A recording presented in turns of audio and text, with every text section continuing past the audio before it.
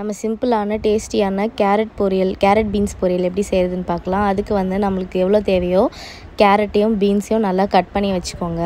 அதுக்கப்புறமா வந்து ஒரு கடாயில் நல்லா கா சூடான உடனே தேவையான அளவு ஆயில் ஆட் பண்ணிக்கோங்க. ஒரு டூ டேபிள் ஸ்பூன் அளவு ஆயில் ஆட் பண்ணிவிட்டு கடுகு அதுக்கப்புறமா கொஞ்சமாக சீரகம் அதுக்கப்புறமா வரமிளகா அப்புறமா ஆனியன் ஒரு சின்ன வெங்காயம் சின்ன வெங்காயம்னா சின்ன வெங்காயம் இல்லை. மீடியம் சைஸ் வெங்காயம் பாதி கட் பண்ணி கட் பண்ணி போட்டுருங்க.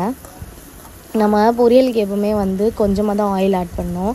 இல்லைனா வந்து நிறைய எண்ணெய் ஆகிடும் அதுக்கப்புறமா இந்த மாதிரி ஒரு ஒரே ஒரு பூண்டு இல்லைனா ரெண்டு பல் பூண்டை வந்து நல்லா தட்டி அதோட தோலை நீக்கிட்டு அதை போட்டுருங்க. போட்டுட்டு நம்ம ஒரு பச்சை மிளகாவை இந்த மாதிரி உடச்சி போட்டுக்கலாம். உடச்சும் போட்டுக்கோங்க கீரையும் போட்டுக்கோங்க.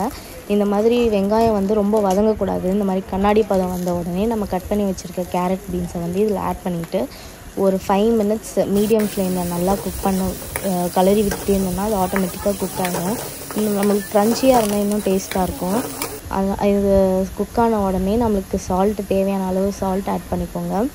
அதுக்கப்புறமா வந்து ஒரு கால் டேபிள் ஸ்பூன் மஞ்சத்தூள் ஆட் பண்ணிவிட்டு அதுக்கப்புறம் நம்ம ஒரு அரை முடி தேங்காயில் அதுலேயும் கால் முடி வந்து நல்லா துருவி அதை வந்து ஆட் பண்ணிக்கலாம்.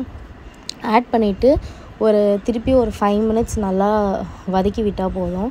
அது நல்லா குக் ஆகிடும் சாப்பிட்றதுக்கு செம்ம டேஸ்ட்டாக இருக்கும். சாப்பாடும் கலரி சாப்பிட்லாம். அப்படியே சைட் டிஷ்ஷாகவும் வச்சு சாப்பிட்லாம். இது வந்து ரொம்ப ஓவர் குக்காலாம் ஆகாது. ஹாஃப் குக்காகவே இருக்கும். ஆனால் நல்லாயிருக்கும் டேஸ்ட்டு சாப்பிட்றதுக்கு.